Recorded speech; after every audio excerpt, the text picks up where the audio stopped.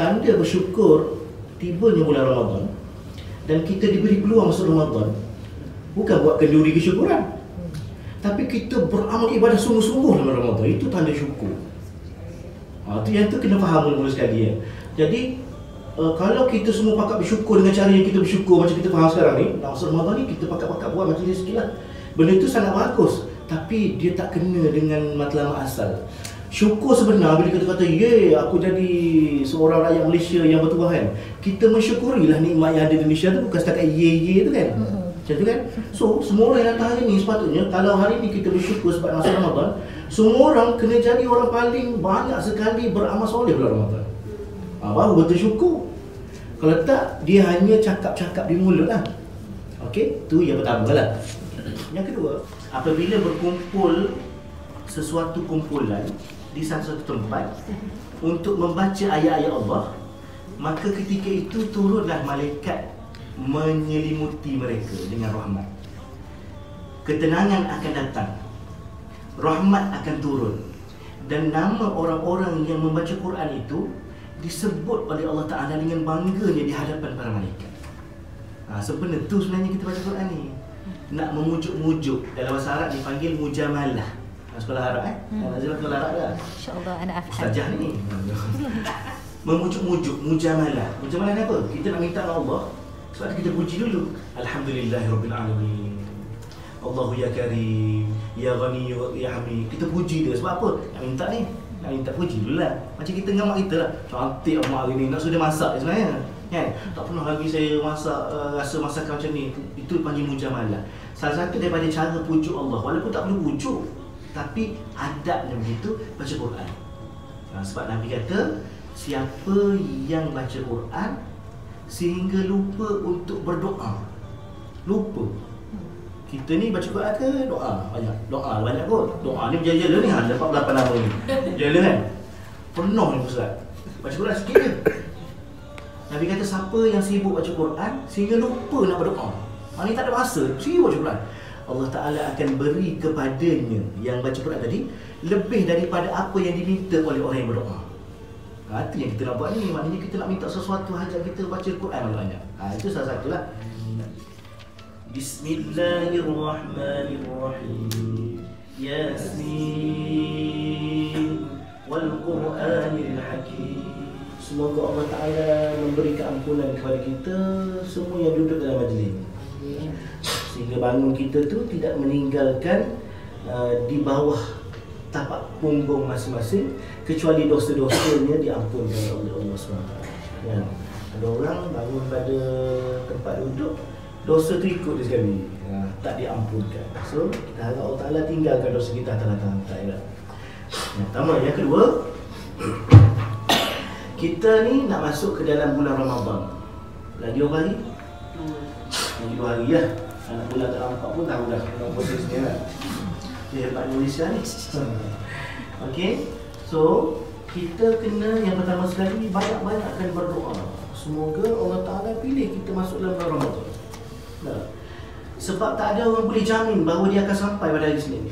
Tak ada lah. Nobody will guarantee themselves to enter into the holy month of Ramadan. Oh.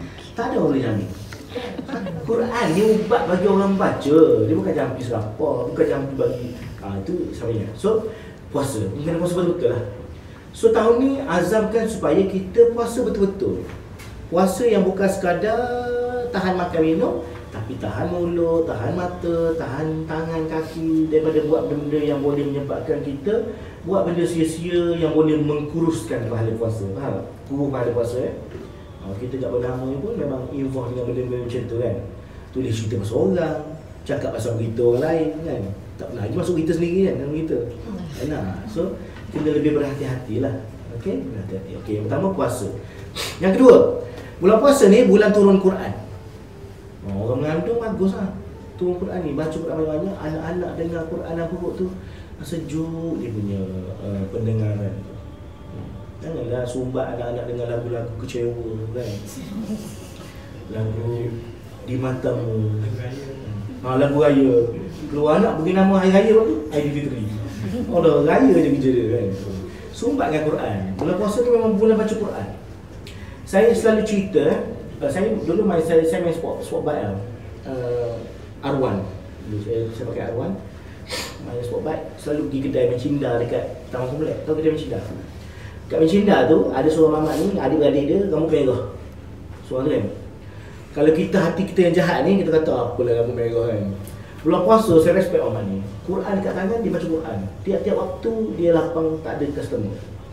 Itu baru betul bulan Quran, baca Quran. So di office kita mungkin kalau kita tak boleh baca pun kita pasang lah ayat-ayat Quran ke biar hidup. Oh, barulah tak mengadu kerah lah apalah kan.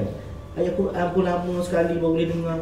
Nabi kata rumah yang tidak dibacakan Quran Maksudnya apa? Bukan kita baca embuh kat rumah tu Mana penghuni dalam rumah tu tak baca Quran Seolah-olah seperti rumah buruk yang ditinggal Rumah buruk tinggal siapa yang akan duduk?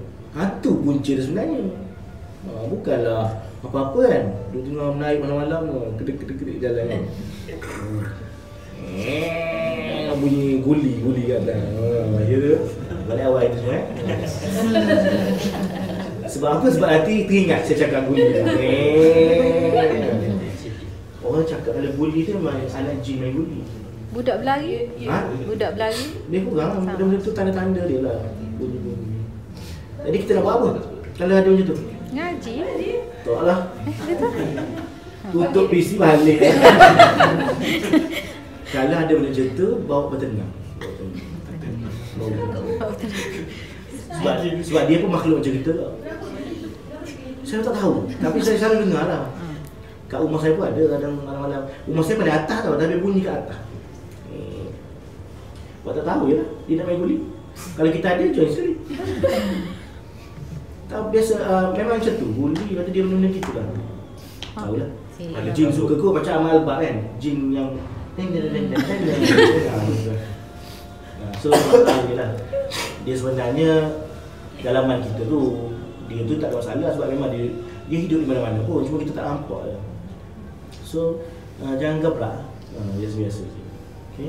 Tapi kalau nak naik lift, jangan naik seorang-seorang eh? Naik dua Sebab lift tu ada cermin kat dalam Dan kita duduk seorang dalam lift, jangan ada belakang ah, kan?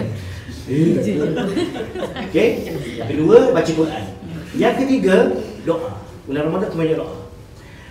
Surah Baqarah ayat 183 1, sampai 188 dia cerita tentang puasa tau.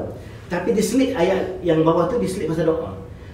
Dia kata apa? Wa idza sa'alaka ibadi anni fa inni qarib. Bila hamba-Ku bertanya kepada aku, bertanya kepada kau Muhammad tentang aku, kata Allah, aku ni dekat. Dekat uji budak watada'i idza da'an.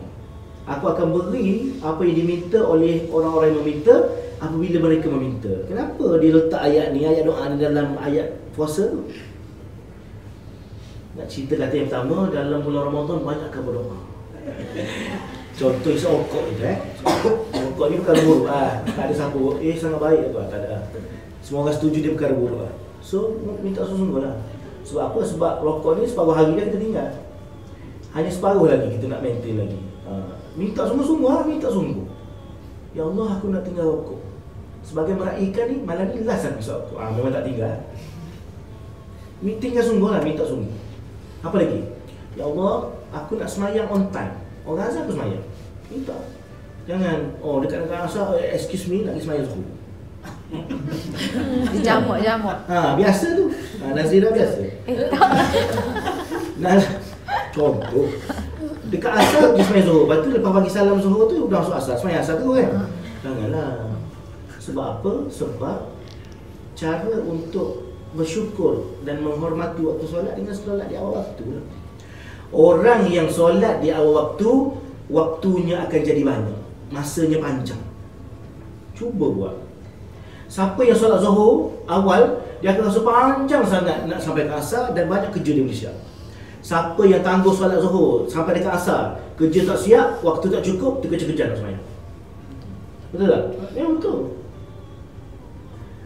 Sama juga dengan orang yang tidur lepas subuh. Orang yang datang kerja, lepas tu dia mula balik keluar minum item, mengopi, mengetem, meng, apa? Mencendol. Dekat Pahang tu mencendol. Dia makan cendol, tak makan kan? Mencendol. Waktu dia sekejap je. Eh, dah pukul 10, kerja tak siap ni. Kan? Orang yang masuk punch in pukul 8 dia buat kerja siap pukul 9. Eh kerja dah siap pukul 9 baru. Itu waktu diberkati. Semua orang diberi oleh Allah Taala waktu sama panjang. Cuma berkat dan berkat.